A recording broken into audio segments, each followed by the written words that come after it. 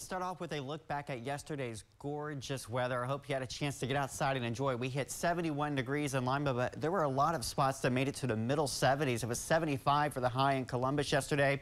The warmest spot hit 76 over towards Zanesville. We hit 75 out towards Cincinnati and 72 in Defiance. So, wow, I wish every day could be that nice in the forecast. Now, changes, unfortunately.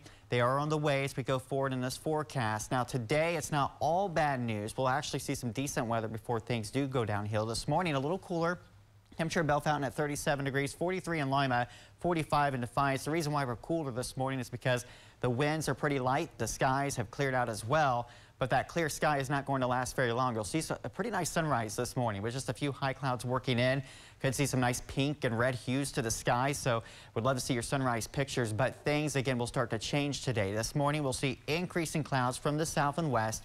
The rain that we're watching is still pretty far away and near Paducah, Kentucky, down towards the Ozarks, Memphis, Tennessee. And this is all lifting its way north and east. So with time, that is going to arrive here later on this afternoon. But we do get a lot of dry weather today before this does move in. The models have been kind of slowing this down just slightly. So here's a look at 2 p.m. Still mostly dry at that time. The rain just starting to enter our south and west counties. But by the evening commute, as you're heading home from work, 5 o'clock, we will be looking at scattered showers. Nothing too heavy and certainly nothing severe. And we're still not looking at very much wind at, yet at this time. So things still, again, not too active. But once we go through the evening, things start to change. The rain will become heavier. 9, 10 o'clock this evening. A few thunderstorms embedded in there as well. The red and the orange, that signifies heavy rain. So some heavy downpours moving through the area. The winds will continue to pick up. And the strongest winds actually come after the heavy rain moves through. So by 2 a.m., we're working in a dry slot. The heaviest rain will start to move out, but the winds are just going to continue to pick up from 2 a.m. through sunrise Friday. That's the strongest period of winds for us. We'll see a couple lingering sprinkles tomorrow morning, but by the afternoon, we actually get a few peaks of sunshine. So let's talk about those winds. Again, during the day today, it's not windy at all. In fact, I only have winds at 5 to 10 miles per hour today, so the, the wind is not a concern during, day, during the daylight hours today. But it's tonight towards the mid and late evening, 9, 10, 11 p.m., wind gust up to 30 to 40 miles per hour. But it's after midnight, like I said, after that heavy rain moves through, the winds pick up. We'll see gusts by 3 a.m nearing 50 miles per hour all across the area.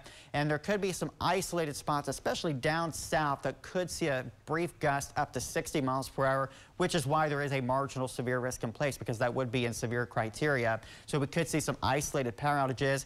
Of course, if you have any dead trees or dead tree limbs, they could be knocked down with these winds. We'll still be very windy tomorrow morning. The strongest winds start to pass us by sunrise and will slowly start to decrease those winds through the afternoon as gusts do decrease by the afternoon below 30 miles per hour. So for today, 69 degrees, increasing that cloud cover. Again, no rain until mid to late afternoon. We will see showers and eventually some thunderstorms by the mid and late part of the evening. Those thunderstorms give way to some very strong winds throughout the late part of the night. And as we head into tomorrow, we'll see some peaks of sunshine by the afternoon, very windy those winds will start to gradually decrease in their strength.